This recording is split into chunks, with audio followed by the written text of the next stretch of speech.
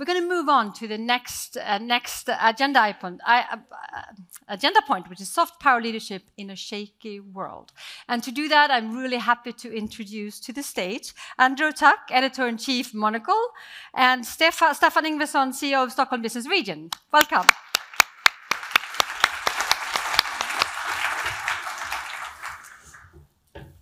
Welcome to both of you. So, after this morning's uh, really deep discussions, I think the question of what actually happens to soft power in a world where rhetorics are getting tougher is uh, extremely relevant.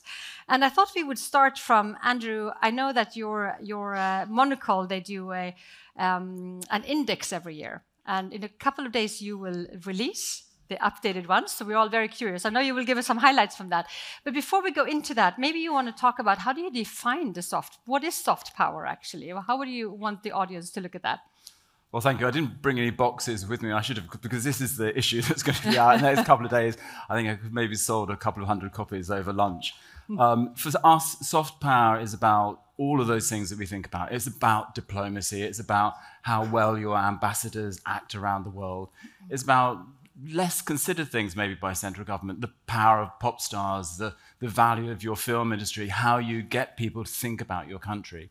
But I also must say that it's a lot about this as well. It's about often the most common touch point that anybody has with your national brand is your business brands. These, these are the ways that we, we understand what a country stands for and represents. And I'd say that, you know, there's, there's two tiers to this. There's what, what we think is government organizations about the power of, uh, of softness and, and how that's used. But I'd say for the average British person, for example, it's, it is going to IKEA. It is having, a, mm. it having meatballs on a Saturday when you're there with the kids. Strangely, those things shouldn't be ignored as well. That is also soft power. That is also how we think about countries. Hmm. Interesting. And is, is there always an opposite, though? So if, if there's more hard power coming, do we see the soft power diminishing? No, but I think, let's be honest, in the past 12 months, we've all learned the, the limitations of soft power. Soft power shouldn't be seen as icing on the cake of you know, your armaments and your, your armies and, and your military might. But without a doubt, we've learned over the past year, it's hard to imagine the two just sitting side by side and not interacting. So just this week, we've had the, the, the, the First Lady of Ukraine here that was a soft power move. She's here talking about her country in, with, in an eloquent way. She represents her nation. And you know, what Ukraine has done over the past year has been an extraordinary move of soft power. If you had said to British people two years ago, what's the difference between, I don't know, Belarus and Ukraine, they couldn't have given mm. you, the, the person in the street could not have given you any answer to that.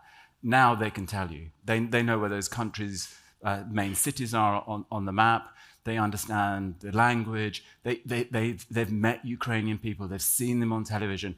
But they've seen the likes of the First Lady talking about what, Ukrainian, what Ukraine stands for. So let's not imagine the two as separate, but they, when you mix them together, they can be extraordinarily potent. Interesting. So speaking about Ukraine, because I think there has been a change in your top 25 countries, what, what can you share with us that we will all be able to read on, on Monday on, on the shifts you're seeing? Well, for the first time ever, Ukraine, we have ranked it in the past 12 months as one of the top 10 players mm. in the use of soft power. A, an extraordinary rise for a country like that. But also, it's an interesting thing because you know, Sweden, especially at the moment, uh, globally, maybe there's some questions about politics have risen more up to the front pages of our newspapers, for example, around the world. But we've tried to divorce, it's, it's not just about who your prime minister is or who your leaders are or which political party is on, on the up. That, of course, plays into your soft power. But we've also looked at why, for example, the US is still so successful around the world as a soft power agent, even if in many places perhaps Mr. Biden isn't liked everywhere. And the last thing on this, because I must now Stefan, is just let me just say, I think there is also a very fascinating story that's happened over the 12 months, which is the polarization of soft power. So maybe two years ago, you could have sent the Bolshoi around the world and they could have turned up in Washington, they could have turned up in London. and we would have been eased back into a Russian world, and we'd have thought that was, was great. You could have sent maybe somebody, a pop singer from Sweden, to tour in Moscow, and it would have worked. Now we're in a much more polar world, and actually, some of these soft power influences are just not traveling. They're, they're, they're coming up against barriers. Mm. So soft power is working much more in orbits than it ever has before. Thank you so much. So before we move to Staffan, what happened to Sweden then uh, from last year? Well, I'm afraid, I'm afraid Sweden has gone down in our, in our, ranking. I wouldn't say that's because of politics. I would say it's, it's to, to do with questions that you'd see here in the UK as well. So many European countries look to all of the Nordics, especially Sweden, for this extraordinary experiment in social democracy. It was seen as a miracle cure for people arriving from other nations and being rapidly absorbed into a country, that you would have a, a, a low crime rate, uh, a peaceful nation at all times. Now, that's nothing against Sweden. With all, all countries around Europe are coming up against the, the, these, these, these same walls and same concerns. How do you integrate people? But unfortunately for Sweden, that has, that has not put aside the crime figures or the, the shootings or the gang violence, which is, is certainly dominating headlines in many newspapers. But it's the, this soft power side of it, the brand of social democracy. It's less sellable, I think, at this point around the world. You know, even, even under Prime Minister Cameron, he went to Sweden to see how we could be a bit more like you. And I think Unfortunately, I think it's unlikely that you would see, say, Mr. Sunak saying, okay, we need to go to Stockholm, we need to go to Gothenburg to understand how to run our society better at this point. Hmm. Thank you. So I think this is a perfect switch to, to Staffan. Is this, are you seeing, are you seeing this? Are people less interested in, in being inspired by Sweden, influenced by Sweden, or, or uh, how we have tended maybe to create our society and, and, and lives? Yes and no, I think. Uh, the topic is how does soft power evolve in a shaky world? And I would say in a shaky world, the hard powers becomes more important uh, as well. Uh, what we see very clearly is a great interest in investing in the Stockholm region. Uh, there's a lot of capital looking to, to find solutions there. And when we work a lot with the tech sector, we work a lot with the life science sector, a lot with the uh, various industries that are targeting the uh, strategic development goals. There's a lot of interest there in uh, verticals there. We can be really front runners. Mm. I think as a society as a whole, uh, you, you, are correct that the, the image of Sweden, so to speak, has has uh, been been uh, a, bit tarnished in in this. Uh, and yes, but at the same time, Stockholm today and Sweden today is something else that it was 10, 15 years ago. Mm. we are now less than a less a niche country, a niche city, more of a of a larger global actor, I would say. Uh, and that also means that a lot of the problems that we have in share with a lot of the, the cities around the world, they are there, and we have to address them.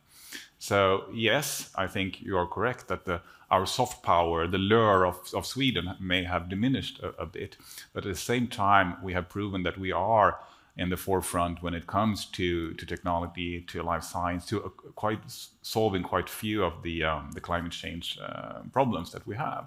So it varies a bit. How do you look at it? I would mm. say. It'd just be nice, yeah. to, Staffan. I, I, don't know that tarnished is the word. That I, it's certainly not the word I would use. It, it, I would put a question mark, and I think that for lots of us, you know, the soft power values of our nations have had little question marks put next to them. You know, here in the UK, we know all the things that happened. Let's not go through those arguments. But oddly, when we saw the death of our monarch, I think British people were surprised that actually the potency of British soft power was was kind of like a bedrock that we hadn't quite noticed. It had been covered up by all this kind of chaotic news.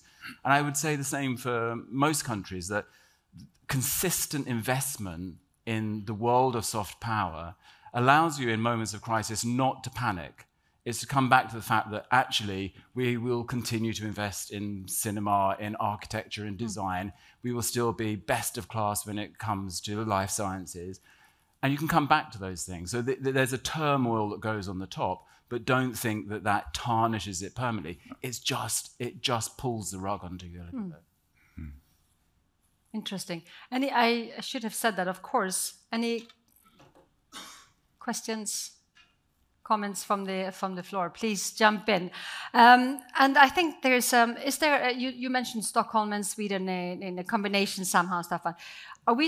Is it is it? A, are we seeing more polarization between the countries and cities as well, or is it is it yeah, but I think I think we have quite quite a few examples around the world where uh, look at the U.S. when when Donald Trump was president and the, the way that New York tried to position themselves in that context. Of course, we have, we have the mayor of Warsaw uh, and and the Polish government. There is uh, there is a, could be friction uh, here, not just uh, out of maybe different political um, parties, but also because you have uh, a divide between the, the larger cities and the countryside in, in all European countries, really, in the UK for, for sure, in Sweden as well. So th there is a tension there.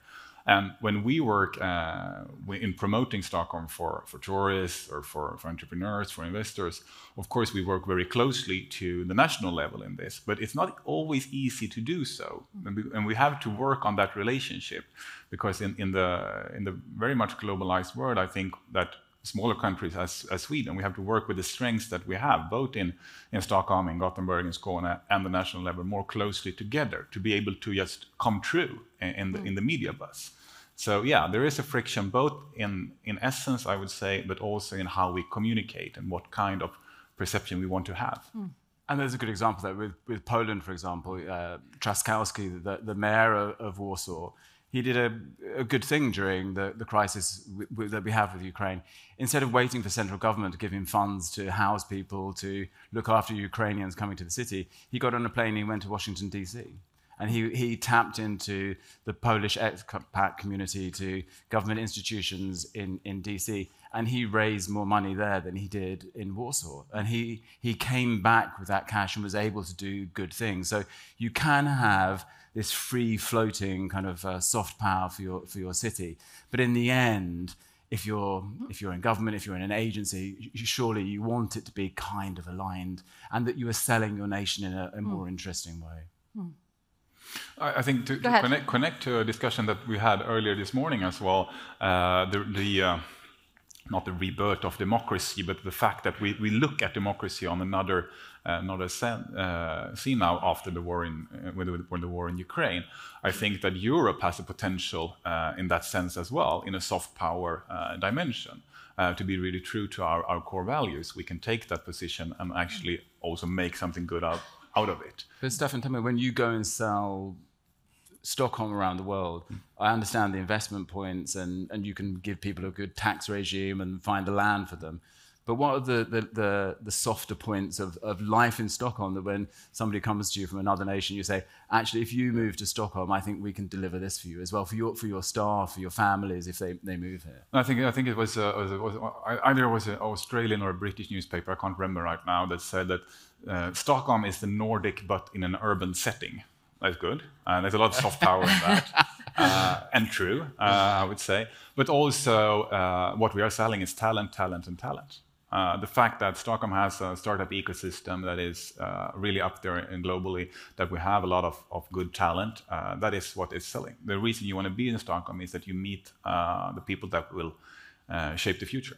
So, of course, yeah, the hard infrastructure is there. There is, there is capital, there is various types of, of infrastructure that you need. There are political stability, the rule of law, and so on and so forth. But everybody else, or not everybody else, but a lot of other places has that. What we have is uh, a very, very good talent base, uh, and that is what we are selling truly. And Helen, uh, uh, we should say that this is soft power what's going on in this room. Bringing people together to think about what Sweden represents is important. And, you know, and I'd say that another best-in-class thing about here in London is that you have a great ambassador who uses the embassy in interesting ways to bring people mm. through the front door. We have also a story in this issue, and I hope there's not too many Finns in the room, because they are moving to a policy where, in, for example, in Islamabad, they're not going to have an embassy anymore. They don't think it's necessary. They're moving into a, a business park, and they'll have three desks for, for briefcase diplomats. Cool, it saves lots of money, it looks funky, but actually, the power of being together, the power of having a great building, knowing how to use it. Of course, you can have millions of pounds worth of real estate that you fail to use in interesting ways because you're crap at putting on a design show or you forget to invite people to come through the front door. but if you do do those things, then the role of this, the diplomatic, the, the, the, the trade mission is, is phenomenal. You can hmm. change how people think about your city. And we see that through, through the magazine, through people we meet, through, through business. If there's a good ambassador who sits in this city, they will change the narrative about what we think about your, your home country.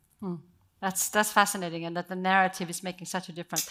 We have talked a lot about Sweden. So, what, what happens to you, uh, UK soft power with all the shifts that we saw in the UK? Well, as I said, there's this, this bedrock that, first of all, you have to go back to. If you strip away all of the terrible news stories, the, the chaos of, of Brexit, all of, these, all of these things, if you go back to that bedrock, what sits there?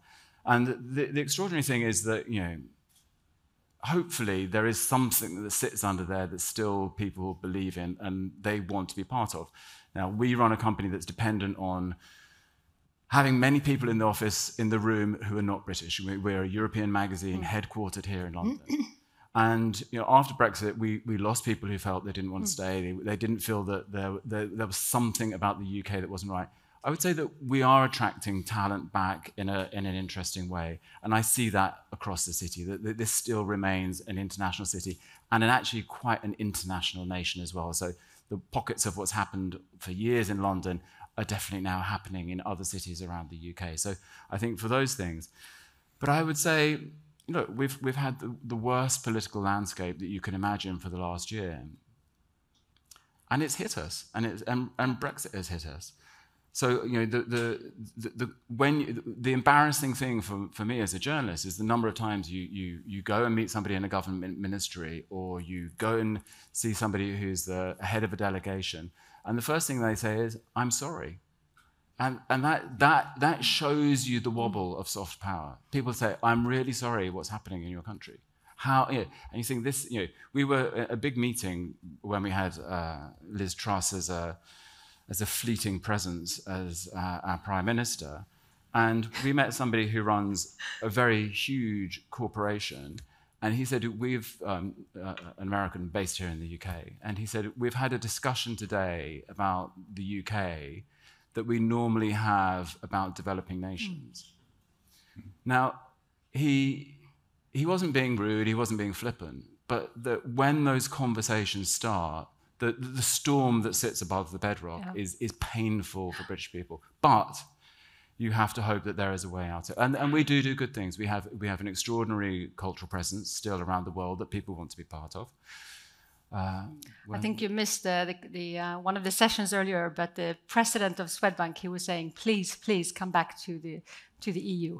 there was a plea for that. Well, you don't have to plead with me because I've done everything I can personally to uh, go back. But uh, uh, I, I, I, do think that has been a, a, a, jolt for people, but we have to come through it. it yeah. It's happened. And, and, what, what is on the other side? And as I said, these strange moments where the clouds break and you suddenly see people looking at something else to do with Britain. And that did happen with the, with the death of Queen Elizabeth II. Mm you know, a, a, colleague at work said um, said he went to see the the the the, um, the, the, funeral procession, and he was standing in a group of people, and they were waiting there for hours. And he got speaking to people, hmm. and out out of thirty people, he was the only person from the UK. There were people who had flown in from Lima, from flown in from Washington D.C., and the conversation was, wasn't was about why they they felt this was such a hmm. defining moment, a piece of a piece of British history that they wanted to be part of.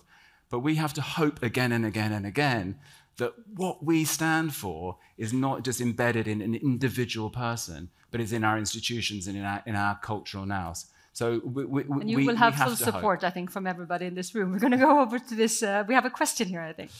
Uh, uh, I just wanted to add to what Stefan was uh, talking about, what you asked about what, what values, what, what the strong things with Stockholm is. And I think what we attract talent to Stockholm is also that we have such a wonderful social security system in Sweden with parental leave, which gives an opportunity for families to settle in Sweden, actually to have a good lifestyle. Mm and uh, of course uh, the nature and the, the beauty and the water and the green areas and the, the openness of Swedish uh, society, the equality. I, I just wanted to add that. Yeah, yeah, that adds to the attraction, I think. Anything else from the audience? I just, just I yes, don't, I don't disagree with that at all. I think that, but, but how do you, how do you throw those things out? That, that's, that's, that's the problem with hmm. soft power. It's, hmm. it's great when it's, it's, it's polished and it's perfect at home, but how do you throw it out there? You know, the, the, the, I, now I hope my Finnish friends are in the room. The, the Finns were, uh, uh, made a good stab at exporting their education system around the world, and now they've been so successful that lots of people are calling it the Finnish school, although it has nothing to do with Finland. It, it's become a brand Yep. Finnish education. So how do you take this this notion of of of, of childcare, of, of mat- uh, mater, uh, paternity leave and uh, maternity leave, and export it, and make it something seem desirable? Because I think that's the way that you can be powerful. Is you can start that conversation here. Because I, I think there's quite a few people that's in a my really office good point how to package that in a way that yeah and i think that is quite unique um, uh, we're running out of time but i wanted to ask you both from a perspective of that soft power leadership is there reason for optimism in the next couple of years you think Well, definitely. I think I think you have to have the hard uh, the hard power stuff in order. Um, that is very true. But I think that in in a growing competition in, within the European framework, I think yes, of course, there is uh, there is a room for this. And I think what you what you are showing now also with Ukraine is that how important this is to to make it possible also for the I think that the dialogue that we are facing the, com- the coming years, hopefully facing the coming years of Ukraine joining the European Union, is because a lot of this discussion we're having now about the soft power of Ukraine. And also, it can turn on a dime. We've just had uh, a, a, a, a delegation of our, our journalists uh, up, up at COP there for the, the talks. And they said that one of the most fascinating things was how Brazil had gone from being the, the, the, the, the country that nobody wanted to talk to and everybody thought was a disaster and they were destroying the rainforest to you just needed a few people to turn up and talk common sense and re-engage with the, the notion of soft power. And in the second, the conversation, the narrative changes.